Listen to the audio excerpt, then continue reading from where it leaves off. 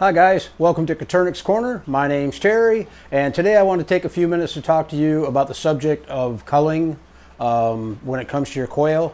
Um, unfortunately, a lot of people have come to associate the word culling with killing uh, your birds, and that's not always necessarily the fact. Um, I've got a lot of birds right now, especially some young ones that are, are growing out, and um, I've got a lot of colors that I need to, to get rid of. I've got a lot of males that need to go out to the uh, uh, meat pen. And then I've got some adults that I want to swap out for some of these younger females uh, for the upcoming uh, egg laying season. So uh, let me go ahead and grab uh, the other camera and I'll take you around real quick and show you what I'm going to be doing with the birds and kind of explain to you real quick while why I'm doing what I'm doing and uh, to give you a better idea on what culling actually is. Okay, so here's an example of some of the birds that I need to uh, cull on this round of culling. Um, up here, I've got a bunch of six-week-old males that are getting ready to go out back into the bachelor pad, and I'll grow all these males out and butcher them probably around eight to nine weeks old, um, put them in the freezer. Uh, I've got a bunch of hens down here uh, young hens, uh, which haven't started laying yet, but I'm going to use some of these hens to replace some of my older hens uh, for the upcoming season. Um, and down here, I've just got a, a mix of uh, whites and uh, jumbo wilds, which I'll probably end up, what I can't sell off of those, I'll probably end up putting them out in the, uh, the meat pen also. Okay, here's a little better close-up shot of the, the males um, that I'm going to be taking out back today um, and put in the uh, bachelor pad out back. Like I say, I'll probably grow these guys up for another couple weeks and uh, they'll end up being butchered and put in the freezer. Okay, and down here, um, I've got a bunch of young females, which uh, what I'll end up doing with these, uh, in about two weeks, I will weigh them and see if they make weight for uh, the jumbo pharaohs.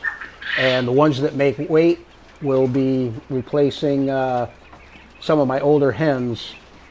Okay, and this is the, uh, the cage that has the mix of uh, jumbo wilds and uh, recessive whites. And like I say, the uh, I'll probably pair these females up with some of the males and uh, sell them as breeding groups. You know, try to get a little bit of money out of them. The ones that I can't sell, like I say, they'll end up going out back and growing up for meat. Okay, so let me show you some of these uh, older hens that I'm going to be retiring. Um, I don't know how well you're going to be able to see. It's a little bit dark in these cages.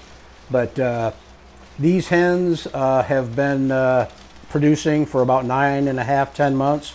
So I'm going to go ahead and retire them and uh, replace them with some of those younger hens that I showed you earlier. But uh, Let's see if we get a better shot in there. You can see some of them are pretty beat up from the males. Uh, you know, they're they lost a little bit of their uh, head feathering and some of their back feathering. That's just the males being a little bit rough on them. But uh, I'll also replace some of these males. Um, I've got quite a few males, younger males that I can choose from. So I'll go through and see which ones uh, make weight and uh, the ones that'll do that do will be put in with the uh, the younger hens. So yeah, probably the entire battery of cages right here. These guys will all be culled to make room for some younger hens. Even though they are still producing, um, I just feel better for the upcoming season to have some younger hens in here. Okay, also if you keep uh, colored birds, um, such as the German pastels or the Schofield silvers, uh, one of the byproducts of breeding these guys is that they don't always hatch out true and you can end up with some uh, colors that you don't really need such as the uh, whites or pharaohs um, so on these guys what I'll do is I'll let them feather out a little bit more and then I'll go through and decide which ones I want to keep for breeding and which ones I want to sell off as uh, pets or uh, breeding stock for other people. Because even though they they are uh, whites or pharaohs um, they can still be gene carriers. So, you know, some people might be interested in them. These are Schofield Silvers. I don't know how well you're going to be able to see them. But, uh, you know, like right there, I've got a Pharaoh and another Pharaoh. So I'll go through these guys, like I say, after they feather out and uh, figure out which ones I want to keep. Uh, down here, I've got a bunch of uh, Italians, and uh, I'll be going through these also and deciding which ones I'm going to put into my breeding program. Okay, and a lot of these uh, these colors uh, that don't make standard for me, uh, like some of the tuxedos and uh, the Tibetans and whatnot, I can donate those to the local 4-H club. Um, the kids love raising them up as pets, and uh, some of them have pretty coloration. You know, it's just uh, it's not what I'm looking for, so you know I'll just donate them out.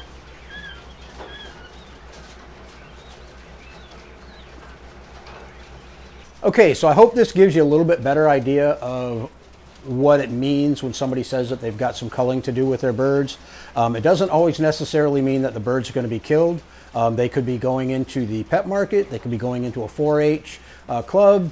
Uh, a lot of times it does mean that the birds are going to be dispatched. Like in the uh, case of my males, they're going out to the grow out pen out back, the bachelor pad we call it, and they are going to be dispatched. But I can't hardly give those birds away, let alone sell them. So it's more logical for me to grow them up to the uh, the weight that I want and then go ahead and butcher them and put them in the freezer to supply meat for my family. So I hope you enjoyed this video guys. Um, if you're not subscribed to the channel, please do so. It helps me out and you'll get notifications of any new and upcoming videos. Um, I appreciate everything that you guys do for the channel. And uh, if you're not already a member of the uh, Facebook uh, group page, head on over to Facebook. It's uh, facebook.com forward slash Coturnix or Coturnix1, something like that. I'll put a link in the description down below. But uh, thanks again for joining us, guys, and we'll see you on the next one.